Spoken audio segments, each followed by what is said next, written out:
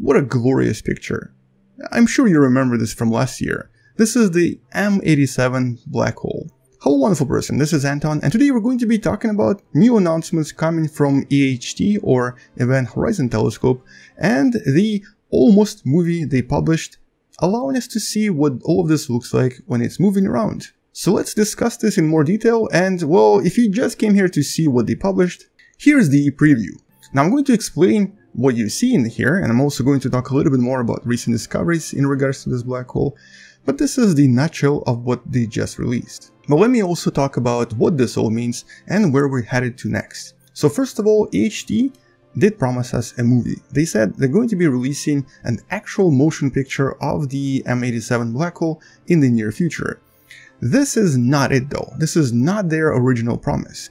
This is a recreation based on some of the older data collected for about 10 years before the uh, publication from last year. Now in case you don't really know what's happening here and what this picture means, Event Horizon Telescope is essentially a big network of several different telescopes that slowly added more telescopes and eventually had enough telescopes to create a kind of a Earth-sized virtual telescope that was able to see really really far away.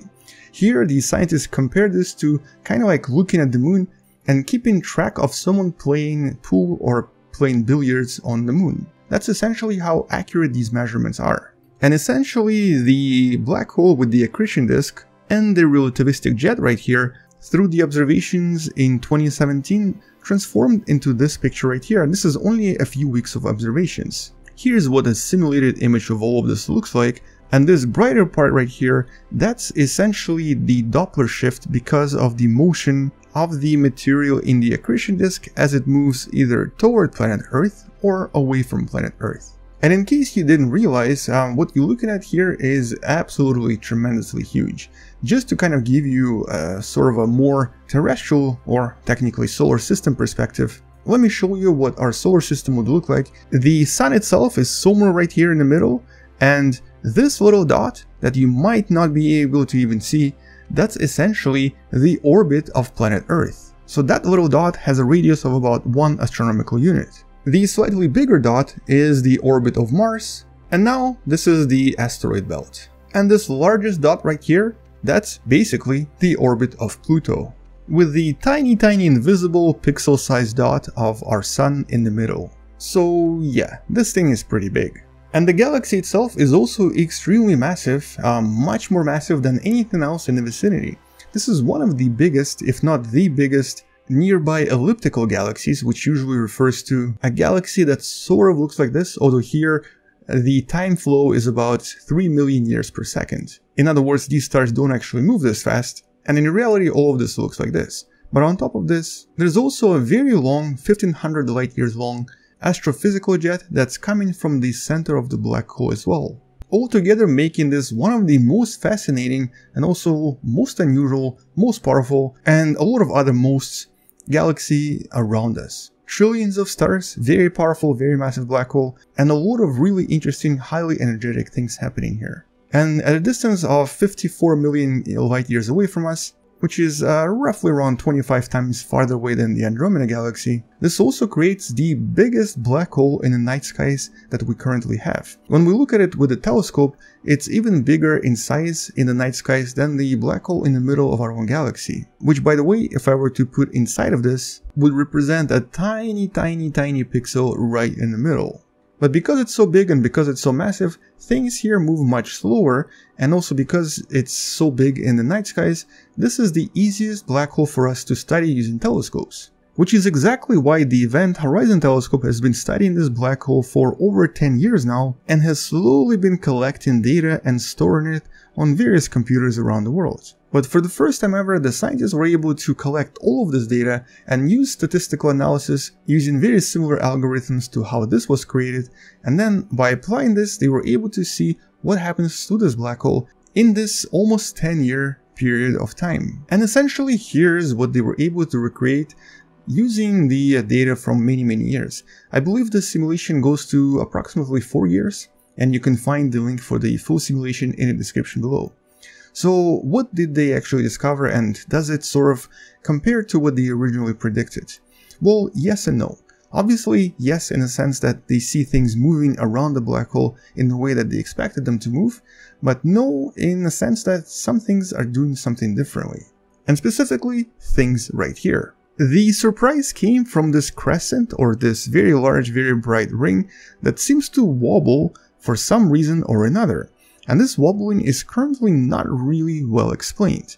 In other words, they didn't really expect it to move in this way. Now in terms of the size and the diameter, everything seems to be maintained quite as expected, but this wobble is not understood very well. And in the simulation, you'll even see that it seems to continue for quite a long time and sort of goes back and forth, goes back and forth several times. And although obviously maybe this is something to do with the observations themselves or some errors in the analysis, a more likely scenario here is in regards to our understanding of the accretion disk and the effects of gravity around supermassive black holes. Specifically, what the scientists think is happening here is that black hole accretion disks are a lot more hectic and a lot more unpredictable than most simulations currently show. In other words, even this most accurate simulation of the M87 black hole created by the team Black Hole Cam, whose video you can also find in the description below and whose research you can also find there as well, it seems that we kind of underestimated the total amount of activity and total amount of various hectic scenarios happening around these massive giants. So it's not as calm and it's not as predictable as we thought it is. Something else is happening around these black holes, something that only future observations and, in that sense, future videos will reveal for sure. So right now, nobody really knows what's happening, but whatever it is, it's going to be super exciting and um, obviously will result in another exciting news coming from the EHT team. But either way, right now there's really no theory to explain why this variation happens and what's causing all of these changes in these images. A potential explanation does involve magnetic fields, which normally are formed when all of this ionized material starts circling around and creates extremely powerful magnetic fields which could influence the actual motion of the accretion disk, but these are just guesses right now. Most importantly, new analysis is definitely going to be out soon because a new telescope from Greenland was recently added to the EHT, so they're going to have even more data to work with, and using very similar analysis from before, they're going to be able to create something even longer, something that looks even better than this. In other words, the movie they've been promising for I guess a year now is coming sometime soon in the theaters near you, technically on YouTube, right here. So make sure to subscribe because I'm going to be talking about this for sure. And from what they've announced, in 2021, two more different telescopes at different sites are going to be joining the EHT as well, allowing them to eventually create even better images of this, and most importantly, the other black hole, the one at the center of our own galaxy. The black hole that we have, um, because it's smaller, has material moving much much much faster.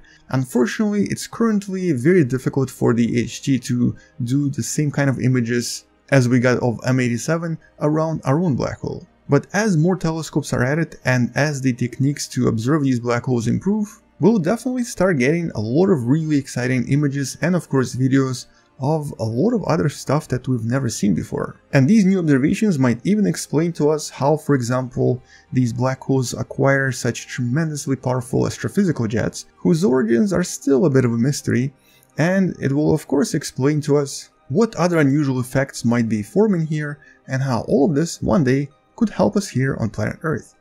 Although that's still really really far ahead, we're still not entirely sure how all of this is going to be useful to us. Nevertheless, it's definitely super exciting to hear more about what EHT team is going to be able to produce, and I'm looking forward to more of their announcements and of course more of their cool simulations, allowing us to see the universe that we've never seen before. But anyway, on that note, check out the actual study for this in the description below, and the other simulations I've used in this video to kind of take a look at them yourselves.